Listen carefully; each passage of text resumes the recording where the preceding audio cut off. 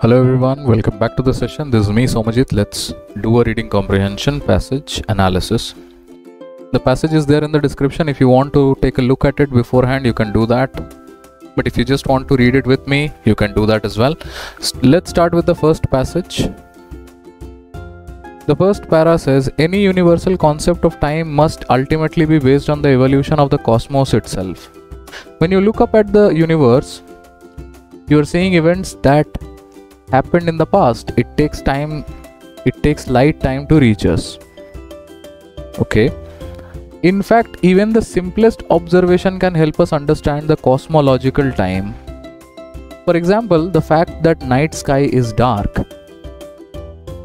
If the universe had an infinite past and an in, and was infinite night in extent the night sky would be completely bright filled with the light from infinite number of stars in the cosmos that has always existed. Now typically if you read the first line you would realize that this is an argumentative passage. That means you are gonna get inference type questions a lot. You can go and see the questions as well but then this is a you can say this is a sort of a hypothesis that i have. Let's go to the second para. For a long time scientists including einstein thought that the universe was static and infinite. Static and infinite. Observations have since shown that it is in fact expanding and at an accelerating rate okay? It is expanding. It is definitely not static. It is you know expanding that too at an accelerating rate. You see these are your you know words that you have to pay attention to. This means that it must have originated from a more compact state that we call big bang implying that time does have a beginning in fact, if we look for light that is old enough, we can even see the relic radiation from the Big Bang, the cosmic microwave background, realizing this was a first step in determining the age of the universe. So, we are talking about the age of the universe and how actually the universe is expanding. Let's go to the next para. These paragraphs are small, so we'll read them as one. But there is a snag. Einstein's special theory of relativity shows that time is relative. The faster you move the relative to me, the slower time will pass for you relative to my perception of time. So, in our universe of expanding galaxies, spinning stars, swirling planets, experiences of time vary. Everything's past, present, and future is relative. Now, this is a very important line that what is relative? This experience of time is relative. Now if you know there is a question that exactly asks me something like this whether the experience of a idea is there or not i have to be a little careful. Now let's read ahead. So is there a universal time that we could all agree on? It turns out that because the universe is on average the same everywhere and on average looks the same in every direction there does exist a cosmic time. To measure it all we have to do is measure the properties of the cosmic microwave background. Now this is if you realize what cosmic microwave background we are again you know coming back to the idea which was mentioned over there. Cosmologists have used this to determine the age of the universe its cosmic age. It turns out that the universe is 3.77 3.799 billion years old. Too much facts, I'm not really interested. Let's move ahead. There are quite a few paras, so you have to pay attention. So we know so we know time most likely started during the bang big bang but there is one nagging question that remains what exactly is time do you realize that this passage is totally argumentative? What is time? Alright. To unpack this question, we have to look at the basic properties of space and time. in the dimension of space you can move forward and backward commuters experience this every day but in time but time is different it has a direction you always move forward and never in reverse. So why this dimension of time is irreversible? Again a question. This is one of the major unsolved problems in physics. To explain why time itself is irreversible we need to find the processes in nature that are also irreversible. Okay so in a way or the other they are trying to you know find out an analog through which they can pro- predict the you know properties of the other. One of the one of the few such concepts in physics and in life is that time tends to become less tidy sorry things tends to become less tidy as time passes. We describe this usual physical property called entropy that encodes how ordered something is. Okay this is definitely taken from some sort of a you know journal or something or maybe a commentary on a journal imagine a box of gas in which all particles are initially placed in one corner an ordered state. Over the over time they would naturally seek to fill the entire box a disordered state. And to put the particles back into the ordered state would require energy. This is irreversible. What is irreversible? This you know going back to the ordered state is irreversible. It's like cracking an cracking an egg to make omelette once it spreads out and fills the frying pan it will never go back to being the egg shaped. It is the same with the universe as it evolves the overall en- entropy increases.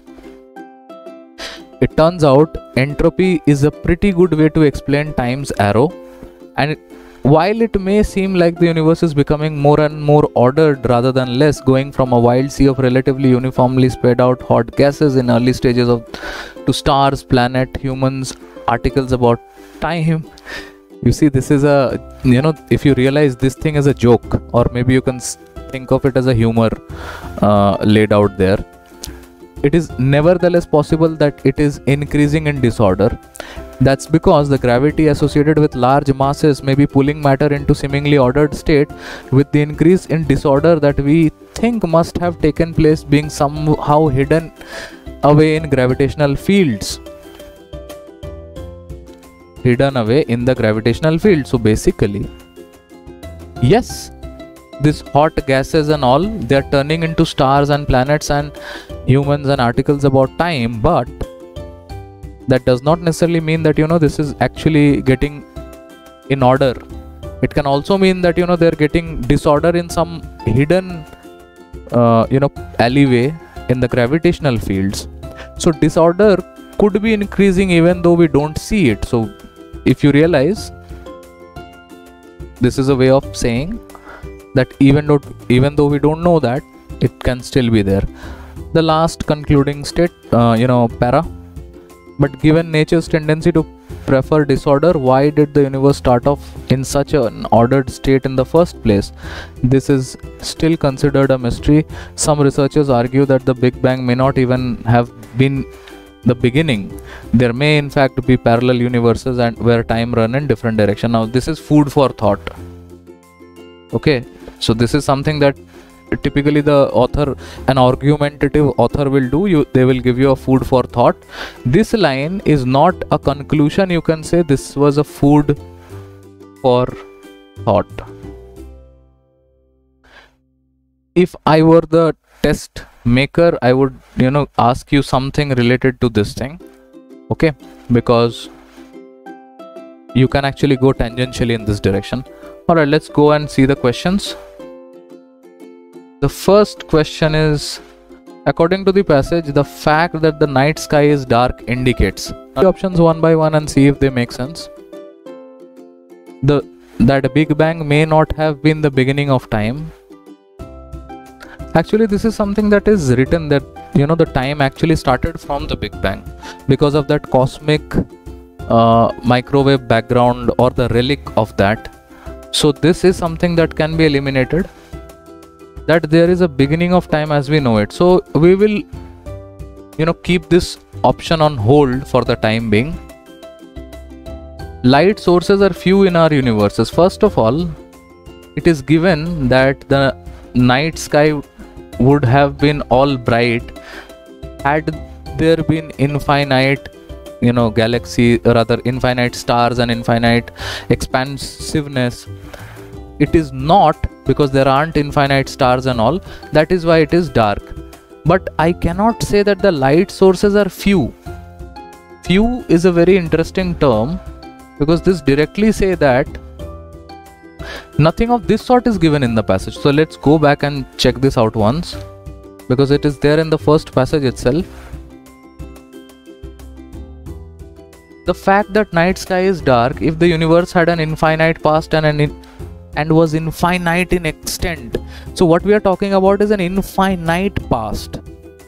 It has existed forever and the extent of the universe is also infinite.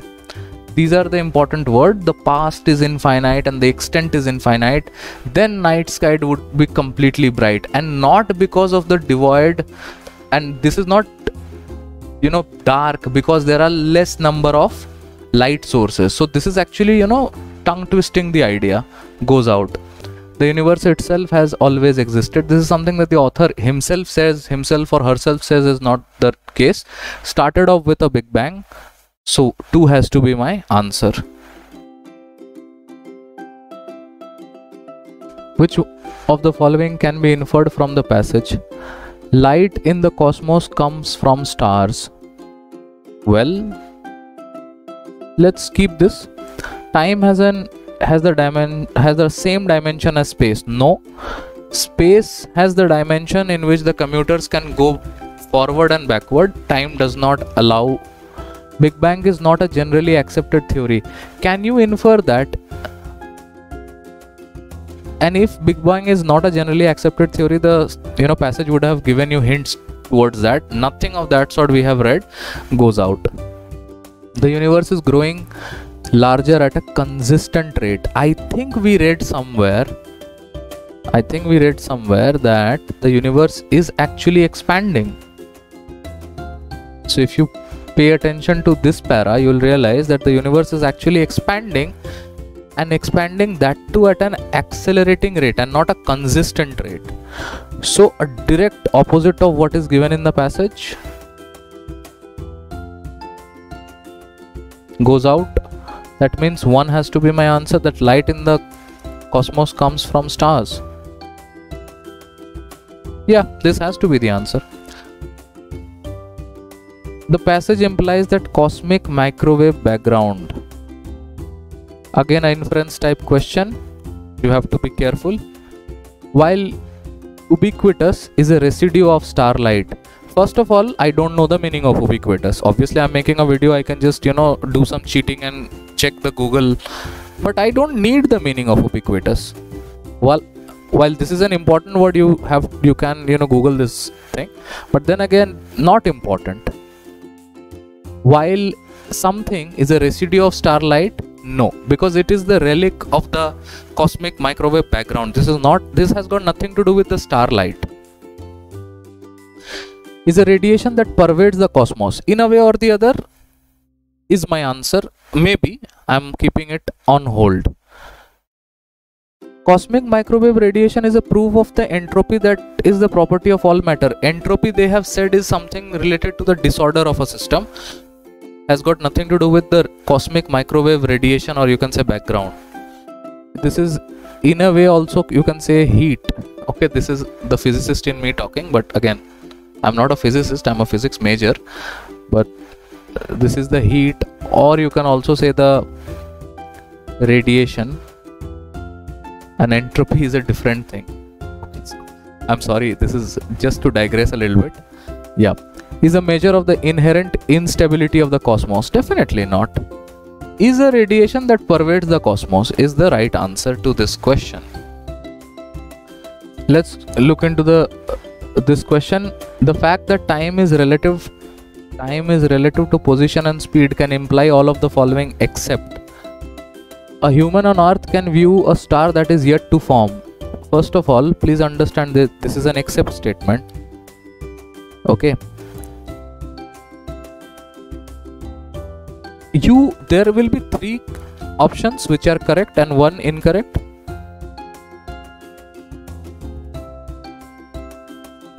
time is relative to position and speed can imply all of the following except three correct statement and one incorrect statement. A human on earth can view a star that is yet to form. Can a human on earth see a star that is yet to form? Definitely not. This is the incorrect statement goes away has to be my answer. All these are you know incorrect. Because again i know i should eliminate and let's eliminate then the order in the cosmos is deceptive. Obviously this is given because the you know it is given in the passage that you know stars and planets and articles on time one way or the other is making you think that the there is an inherent order. The you know the universe is maybe you know in one way or the other getting itself into order but that is deceptive because maybe the disorder is you know hidden away in some gravitational field. It's written in the passage a powerful enough device can read the microwaves that po- microwaves post the big bang. Yes it is true because microwave this cosmic microwave background is there. So a powerful device can actually read those things. So yeah this is also true. So this is because it is true goes out 3 correct is not our answer, 1 incorrect is our answer. This is how you will typically choose. Personal experience of time is individual and not uniform. This is also something that is written in the you know passage that the length of time is dependent on experience, right? I don't want to go back to the passage. Last question. According to the passage, which of the following could possibly give us a clue to explaining the paradox of order in a universe that is that clearly prefers disorder. So, which would give us a clue that explain the paradox of order. So, let's read. The measure of time that is reflected in the cosmic waves such as X-ray and microwaves, the radiation measures from gravitational bodies formed since Big Bang, evolution of notional entities like relative time and relative space from gravity okay this is a interesting one. The measure of time that is reflected in the cosmic waves such as x-rays and microwaves these are cosmic waves. X-rays and microwaves are cosmic waves. This is not going to be the answer. The radiation measures from gravitational bodies formed since big bang could possibly give us a clue to explaining the paradox of order in the universe that clearly prefers disorder. No. Radiation measure from gravitational bodies will also not give us this thing. The evaluation of notional entities like relative time and speed, I don't think. The information that could be gleaned from gravitational field. Obviously, for obvious reason, it is given. Because in the last passage, uh, uh, the last para, it is also written that there could be certain elements hidden away in the gravitational fields and disorder could increase even though we don't see it. And that could actually tell us or give us a clue to explaining the paradox of order in a universe that clearly prefers disorder. Information that could be gleaned from gravitational fields. So this is going to be the answer to that okay so that's it. I hope you understood this well. Thank you